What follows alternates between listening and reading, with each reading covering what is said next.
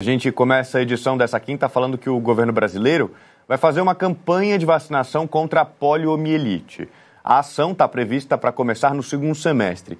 Juliana Sene está ao vivo conosco e explica o que preocupa é a baixa adesão da vacina, né, Juliana? Bom dia, bem-vinda.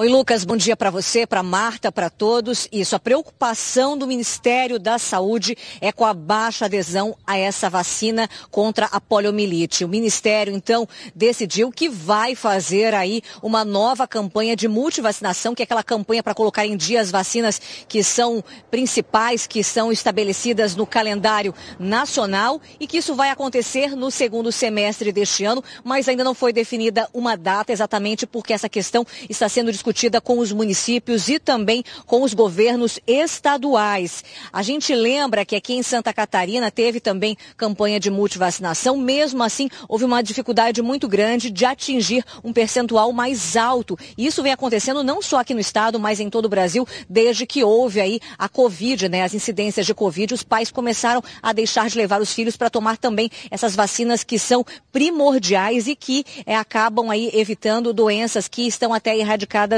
no Brasil. Aqui em Santa Catarina, por exemplo, até março, a cobertura vacinal da poliomielite, ela chegou a 87%. No ano passado, não chegou a isso aqui no estado, é, chegou em apenas 86,75%. Parece alto, mas o Ministério da Saúde tem uma meta estabelecida para os municípios, para os estados, que é chegar aí a uma cobertura vacinal de 90%, ou seja, não atingiu. Então os pais devem se preparar para essa campanha de multivacinação que vai acontecer aí nos próximos meses, quando for anunciada pelo governo federal. E também a gente lembra que a vacinação é, da, da poliomielite, ela é composta por três doses é, da vacina inativa da poliomielite administrada aos dois, quatro e seis meses de vida, mais dois reforços com a vacina oral, a de gotinha, aos 15 meses e também aos quatro anos de idade. Lembramos também que aqui no estado, os postos de saúde, como esse aqui onde eu estou em frente,